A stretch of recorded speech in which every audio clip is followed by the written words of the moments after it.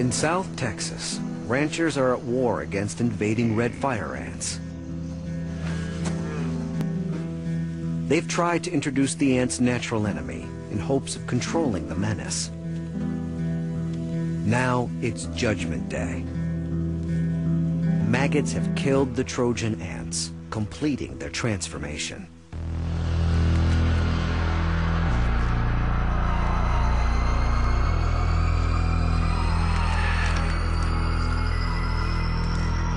Phorid flies burst into the world like a zombie air force rising from the dead.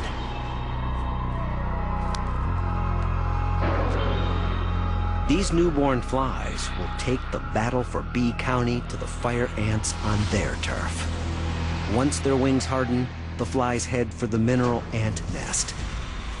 They have only days to live. Not much time to wage a war.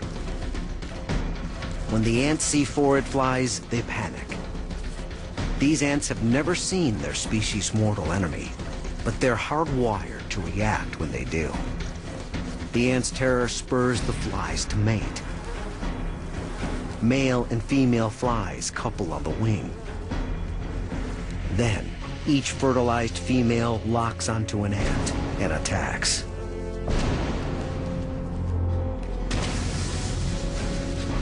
The fire ants respond instinctively, trying to hide or flee as flies sow terror across the nest.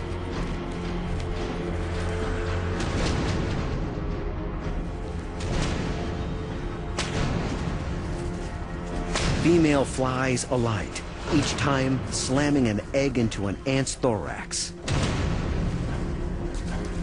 This even rattles ants unharmed by the attacks. They race around, pausing by battered comrades. This is how just a few phorid flies can control the spread of red fire ants. Uh, one fly can leverage its effect dramatically by causing the alteration of behavior of, of dozens of other surrounding ants.